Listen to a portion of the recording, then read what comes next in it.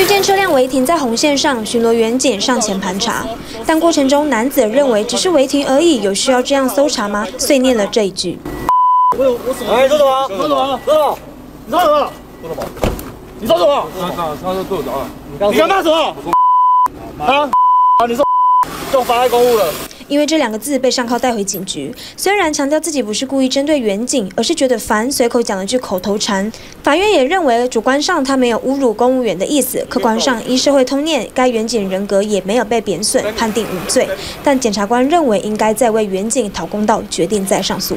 就没事，干嘛一直要去人跟人之间干嘛去针对这个？而且我也明白，我在法律上在开庭的时候，我就很明白，说我并没有说去辱骂别人的意思。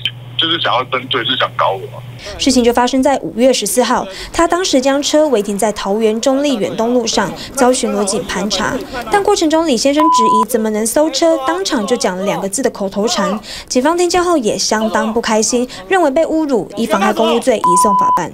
他们三个人警是要求我要把身上衣衣物全部脱掉，包含裤子、内裤这样，然后说就是要检查我的食品就肛门这样子有没有藏毒品之类的。本案民众用不法言辞辱骂员警，本大队依妨碍公务罪嫌侦办，并无违误，虽经法院判决无罪，视经检方提起上诉，本大队予以尊重。李先生觉得自己有点委屈，认为自己没有前科，也不是通缉犯，还被要求全身脱衣检查，怀疑难道是自己身上有刺青就要被先入为主是坏人？如今时隔好几个月，法院判定无罪，以为事情能就此落幕，结果检方再上诉，想确定真的无罪，只能再等等。TVBS 新闻林志伟、李佳燕桃园采访报道。